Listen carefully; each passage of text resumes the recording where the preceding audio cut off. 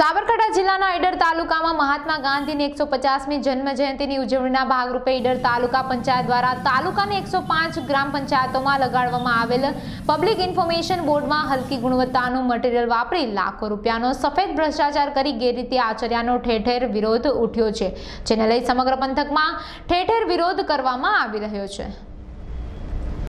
ગત સામાન્ય સભાની અંદર અમે કોંગ્રેસ શાસિત જિલ્લા પંચાયત છે, એમ છતાં પણ અમે વહીવટી તંત્રને આ બાબતે ખૂબ સ્પષ્ટતાપૂર્વક પૂછેલું કે ભાઈ, આ પંચાવન હજાર પાંચસો રૂપિયાનું જે બોર્ડ એકસો પચાસમી ગાંધી જયંતિ નિમિત્તે તમે જે લગાયા છે, અને એની અંદર ખૂબ મોટો ભ્રષ્ટાચાર થયો છે.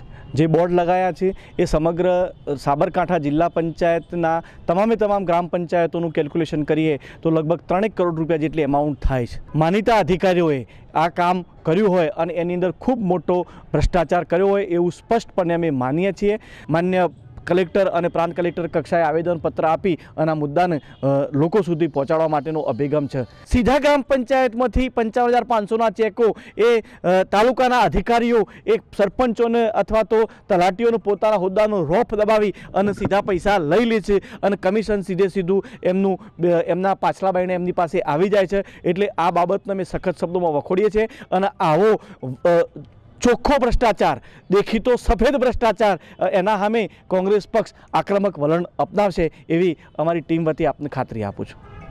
આગામી અમે આ આ- બોર્ડના માટે વિરોધ કરવાના છીએ.